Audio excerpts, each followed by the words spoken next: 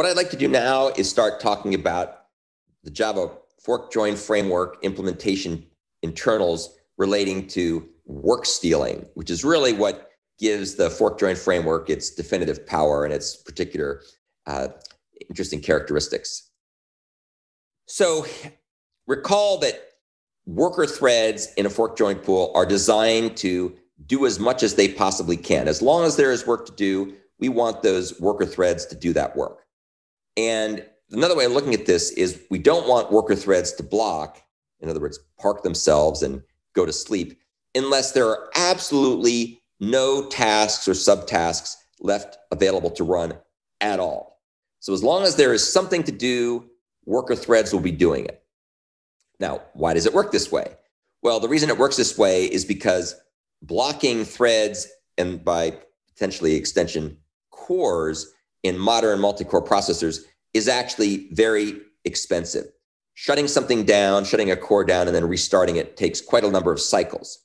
And again, if you want to learn more about this, take a look at Doug Lea's excellent talk at the link below, where he explains this uh, this issue and talks about some of the interesting quirks that the Java environment does in order to make sure that the threads don't block if there's nothing for them to do, or unless there's absolutely nothing for them to do.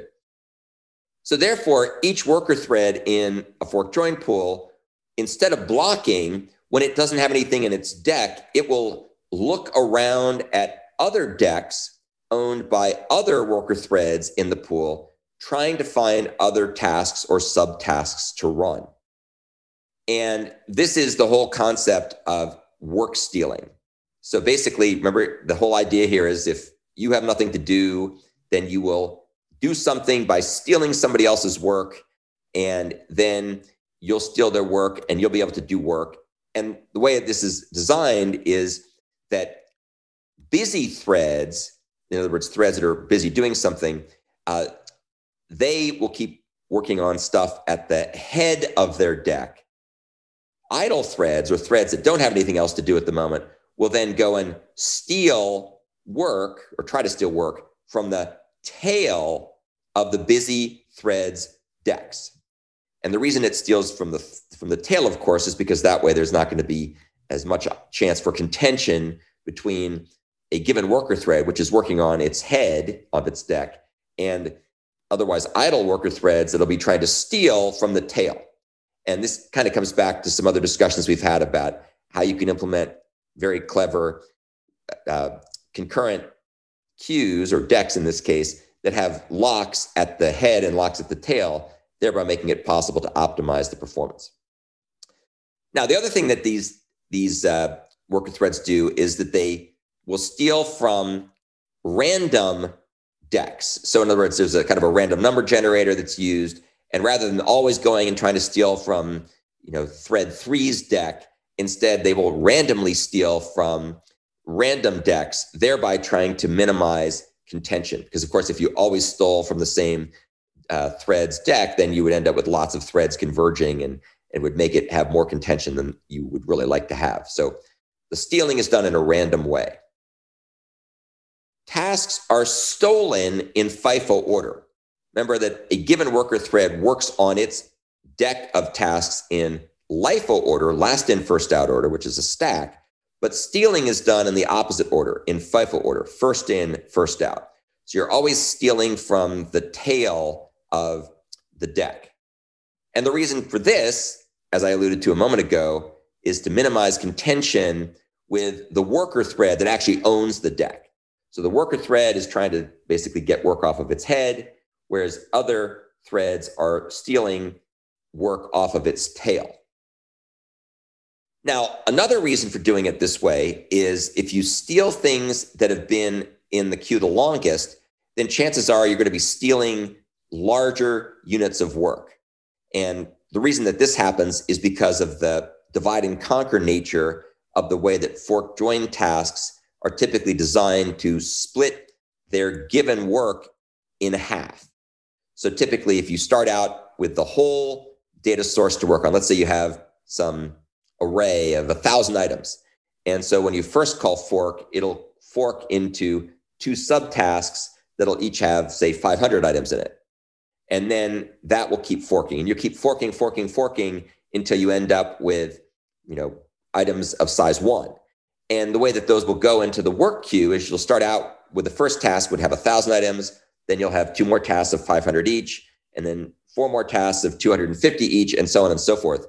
And so the basic long and the short of it is things that are at the tail of the deque typically encompass a larger span of work to process. So large chunks are pushed onto the deque before smaller chunks because of the way that splitting occurs. And therefore, when a thread steals, it'll typically steal a larger task or subtask from the end of the deque.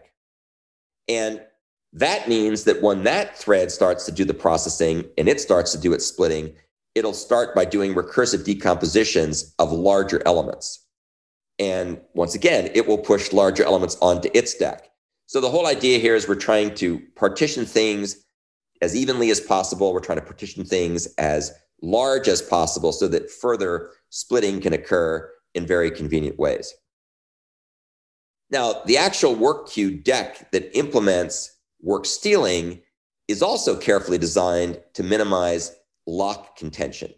And if you want to learn more about the typical data structure and algorithms that are used, take a look at the link at the bottom of the slide, which is a paper that talks about work stealing deques. And this is essentially the same algorithm that's used by the Java fork join pool and its work stealing uh, queues and deques.